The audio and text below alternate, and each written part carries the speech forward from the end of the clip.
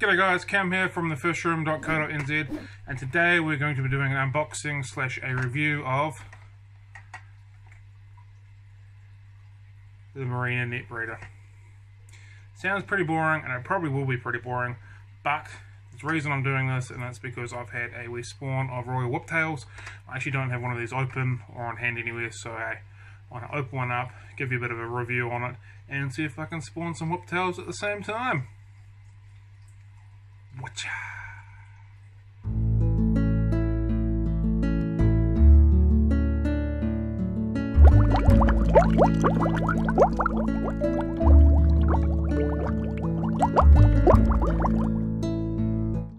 Alright, Marina Fishnet Breeder.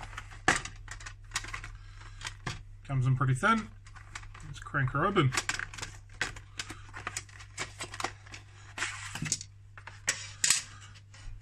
One, two,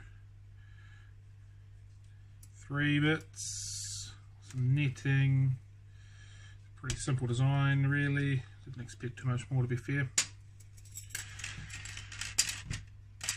And some pretty things. Okay, so we twist these around, these hang on to the back of your aquarium. Twist him round, give him a bit of a bend. Looser now. These bad salves. Go and in.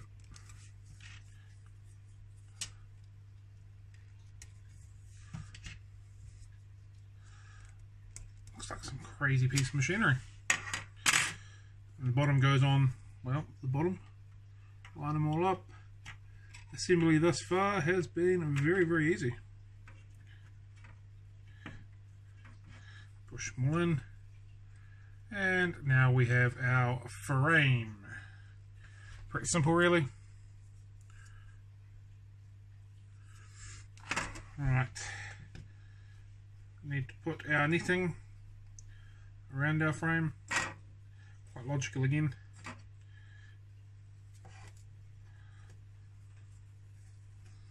Slam her in. Get in there. What's not logical on my behalf is not having the cords, the strings at the back. So let's spin around. That makes more sense.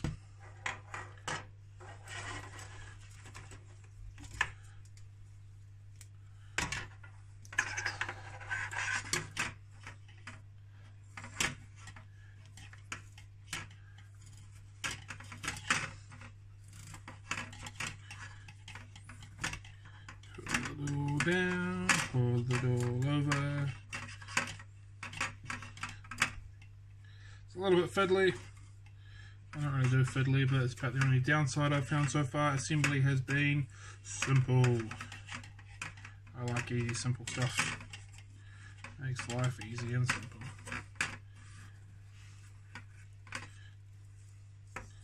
Pull it all up and over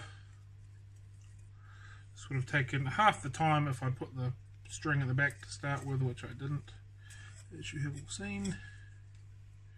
One string, two string, so we get that up and around.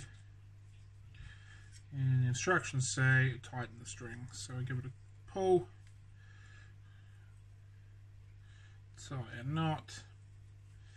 Again, a little bit fiddly, but it's not that bad.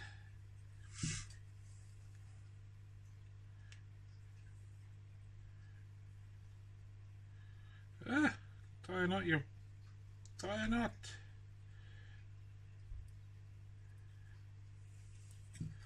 Done. Pretty simple, really. And now we've got our net breeder all sorted. Oh no! Oh no, we've broken him! Broken him. Let's go back on. Ah, that's right, goes back on. Assembly is very quick, less than five minutes. It's very basic.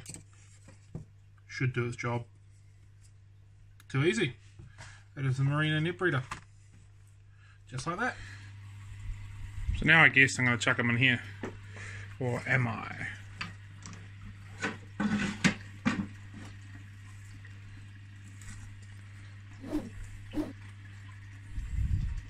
Okay, so it fits. I had the thought that I might have to um, put in my sump, but that should be okay.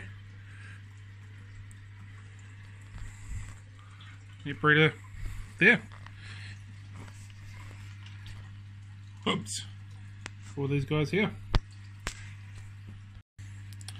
Alright, so I'm going to try and scrape the eggs off the side of this. I'm probably going to try and use a EFTPOS card or credit card or something along those lines. I think that might be the best option, kind of like... Um, what if I can roll them off my finger? No, I've got a fat sausage fingers. I'm going to try and use a card first. Alright, let's see how we go. So I need to find my wallet, which is never ever easy because God knows where I put it. So this might take some time, but in the magic of editing videos, everything should be okay. And you probably didn't even need to see this bit here. Oh well. Alright, and goes the hand. Come on, Mr. Whiptail. Get out of it, angels. Try and be gentle.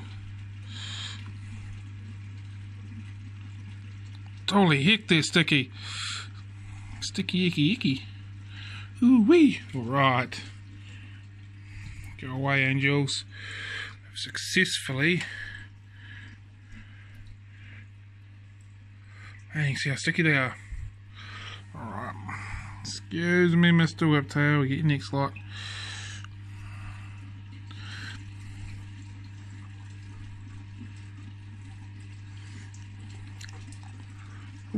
Oh, oh, oh, oh, oh, oh. Lost a couple. Oh, lost a couple. Sorry for the poor camera work. I was looking at what I was doing, what was on the screen. Okay, they're in there. Straight into here. So now we've got them in there. Hopefully there is enough water flow going through them to keep them from going mouldy and gross. I'm sorry, buddy. Didn't mean to take your family away. Well, I did actually. Fingers crossed I do a better job than raising than what you did last time around. Abandoner. Anyway. So there they are. This is day one. They've just been put in here. They were spawned overnight, so a couple more days, and hopefully we get a few whiptails. I might try and put a few roots to the old Indian fern underneath it, which might stop some of the fish going up and under it. There we go.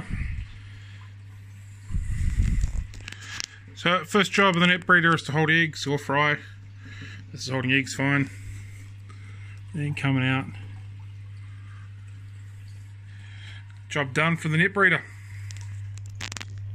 Okay, so this has been up and going now for about two weeks. The only downside that I've had so far is that these little poles seem to come out fairly regularly. Could, however, be because I've got uh, a couple of bits of wood in here. So I'm not 100% certain whether that is um, just being a poor design, there's a little bit of silicon or something like that in them. Of course, if you put silicon in them, then you're going to struggle to pull it apart when you need to pull it apart. Um, or if it's just there's a little bit of extra weight and that's sort of pulling everything down a touch. So I'm not sure, but that so far is the only downside that I've found to these things. They definitely work. Holding my fry fine. Um, they're cheap they're effective, they're easy to put together. Overall, uh, probably give it a seven and a half, eight mark out of ten.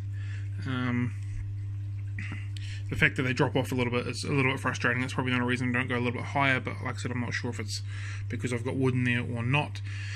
And they seem to clog up a little bit as well, so I'm sort of quite often having to shake it up a little bit to try and get a bit of the stuff coming out. But that's about the only downside I've got. Other than that, they're definitely doing what they need to do, so I'm happy with it overall.